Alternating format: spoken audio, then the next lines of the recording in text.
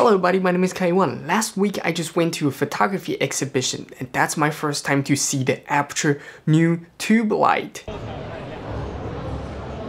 The tube light brand called SGC is the collaboration between Aputure and Quasar Science, so already awesome tube light at Sidus Link.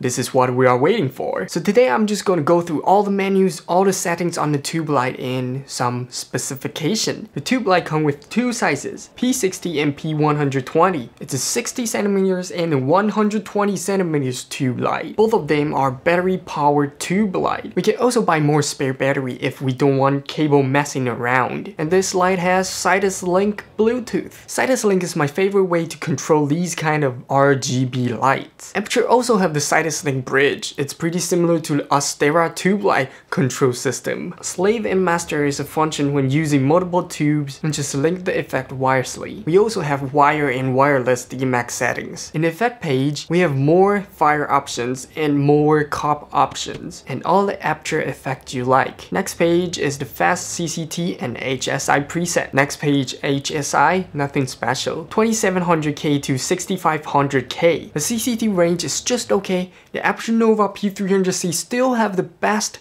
the widest CCT range. We also have green and magenta shift, easy to match different light source. That's it, and this tube light is already on sale in Taobao. 60 centimeters unit, 650 US dollar. 120 centimeters cost 900 US dollars, so it's not the cheapest tube light on the market. You can buy some all the brand maybe non-light, nan-light. Aputure told me they hope they can release these SGC tube light worldwide before end of December. Sidus Link, tube light, interchangeable batteries.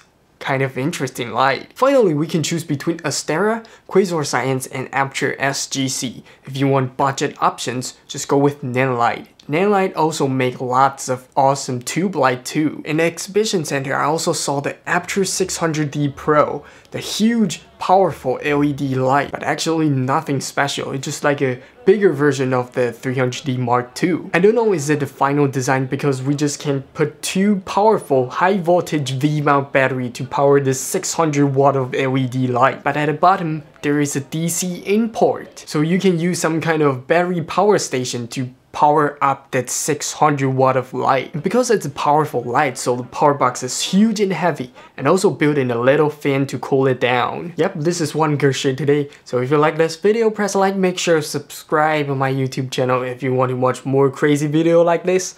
Check out this playlist. My name is Caillou Wang, and I will see you guys next time. Bye bye.